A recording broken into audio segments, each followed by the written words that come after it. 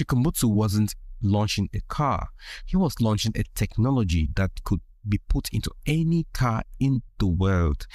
Some people watching this may have been skeptical. After all, Maxwell Chikumbutso wasn't the first inventor to have claimed to have created some kind of free energy device. He wasn't even the first person of African origin featured on this show who made such a claim. That honour goes to Sasha Stone, the Rhodesian born charlatan who claims to be powering his Kentucky based micronation on zero point energy. As far as I'm aware, an entirely fictional source of power. We are able to power up very significant electric output. Just tell us what you can.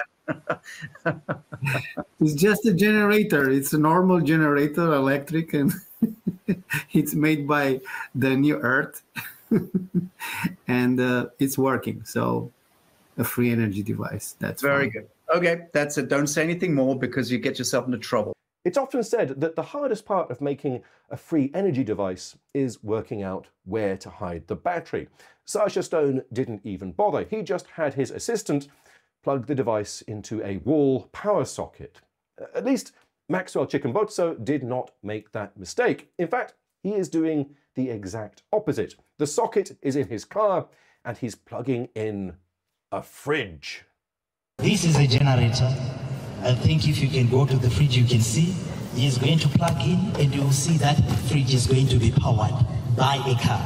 Like I said, you can buy a car. You don't need to have a generator at your home. You use your car.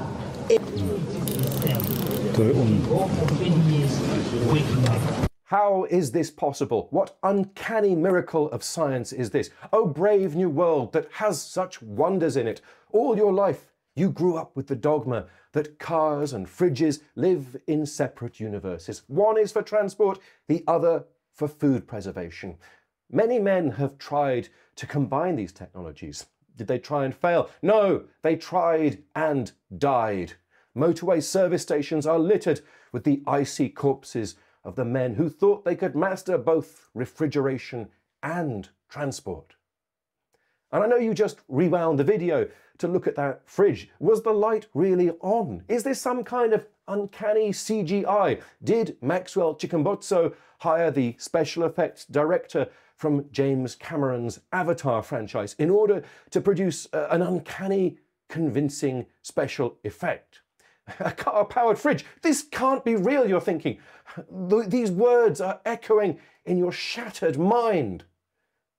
But deep down, you know it is real. You know what you have seen because you saw it with your own eyes. The limitless potential of car and fridge fused together.